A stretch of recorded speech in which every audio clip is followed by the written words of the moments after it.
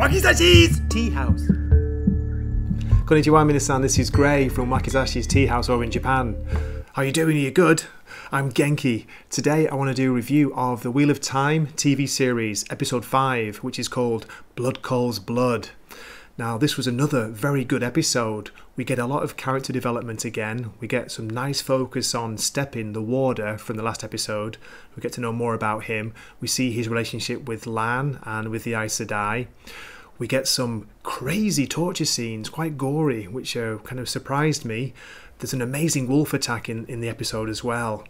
We see more of La- Rand and Mat. Let me just find another image. Mat is struggling. There's something going on with Mat, and he's, he's you know he's uh, he's having a hard time in this episode. And this pictures from a great scene where we see the false dragon Logain being brought into the city, paraded through the streets, and something really creepy, really sinister happens. Speaking of sinister, who is it? Eamon Valda. He's, he's Valden. Is it Valda? I always get the name wrong. Let me double check. Yeah, Valda, the leader of the White Cloaks, the most sinister actor in in the series, who I really like. He has a great scene in there. We see a bit of magic and we see uh, just a little bit of action, but overall, a good episode, quite moving, and for me, the acting has been really good and it really stands out in this one. Okay, anyway, enough from my brief introduction and review. We're going to go on to the story summary and breakdown of the episode, so there will be spoilers from here on in. Okay, keep watching, here we go. The episode opens on a beautiful snow covered landscape, and the camera pans down and we see a ceremony is taking place. It's Moiraine and the surviving members from the battle last episode. They're burying the dead. There's a really interesting image here the circle, the wheel, and you can see the dead bodies are wrapped up in white sheets. Then it cuts to the credits, and we're told it's one month later. The surviving members are travelling to Tar Valon, the White City, and they have Logain, the fake or false dragon. He's kind of tied up and looking weak and defeated. Next, we get a beautiful view of Tar Valon, the White City, with a mountain in the background. That mountain reminded me of Mount Doom. Do you know what I mean? From Lord of the Rings.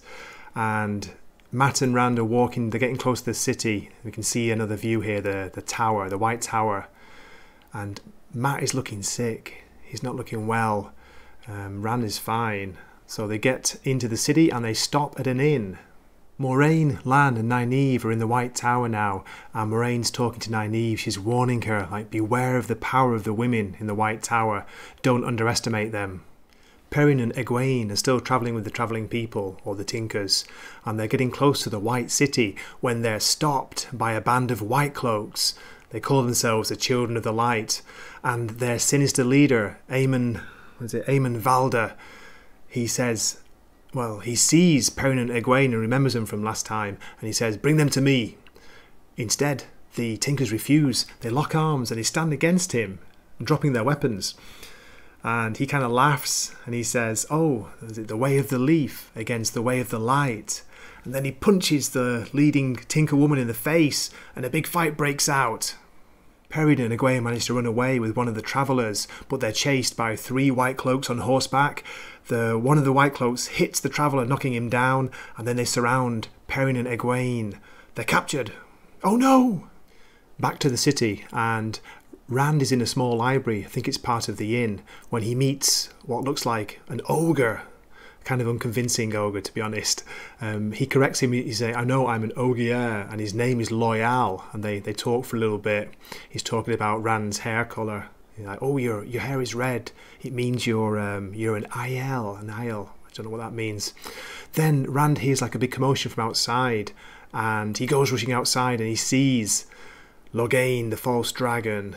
He's being led through the town, and Rand catches up with Mat, and they're watching the the dragon. And there's a really creepy scene where the dragon sees them. He sees Mat especially, and he starts smiling, and then the smile turns to like a maniacal laugh. He's laughing at him, and Mat's like, I, I don't want any of this. Like, if I get any of this power, you know, I'm I'm never going to be like that. and He's basically asking Rand to take care of him, to you know maybe to put him out of his misery if he starts showing signs of the power.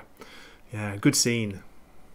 Kerene's warder, Stepin, pictured here, he's mourning her loss. She was the green Aes Sedai who was killed in the last episode by Logain, and he's wearing white.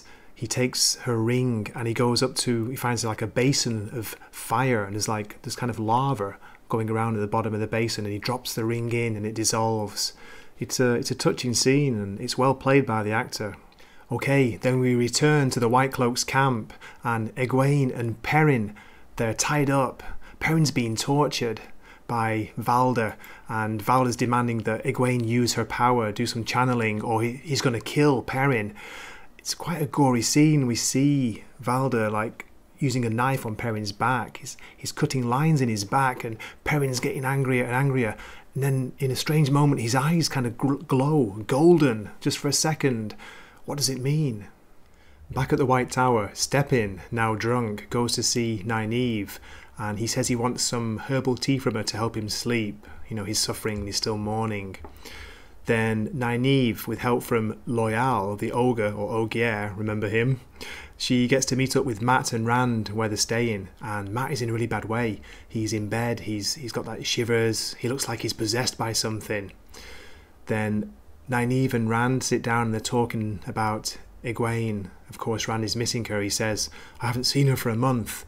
So Nynaeve tells Rand a story about Egwene when she was a child. She got struck with a, a bout of a really bad sickness called is it breakbone fever, which usually kills people, but she survived it. So Nynaeve calls her unbreakable. She says, "Don't worry, she's unbreakable. She'll be fine." Back at the White Cloaks camp, and Eamon Valda is torturing Perrin again. He's demanding that Egwene use her power. So she she does. She tries really hard, and only a small flame, a small like kind of power flame, comes out and doesn't do anything against Eamon Valda, he's kind of he kind of laughs it off. Then we're hearing wolf howls from outside, which is a bit weird, a bit sinister.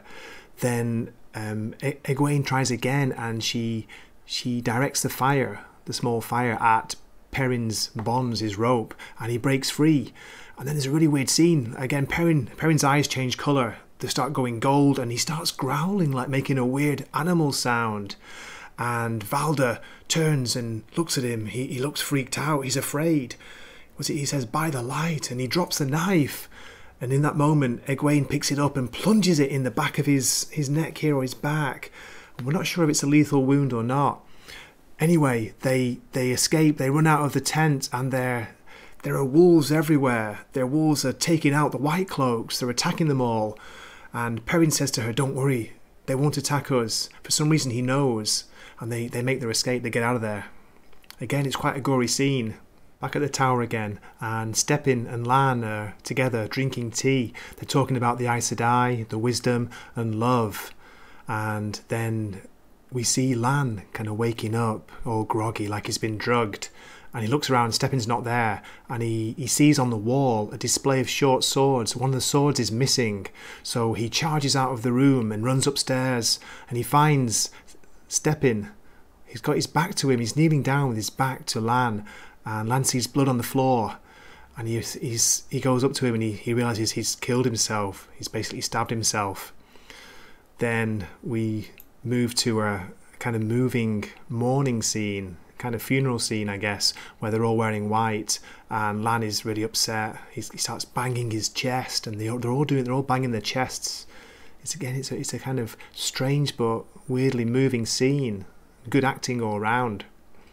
And that's where the episode ends. Okay, that's it for my review of Wheel of Time episode 5 Blood Calls Blood. So, what did you think of it? Please leave a comment and let me know what you thought. And thanks so much for watching. I hope to see you in the next video. This is Gray from Wakizashi's Tea House, signing off. Matane! Wakizashi's Tea House. Please subscribe.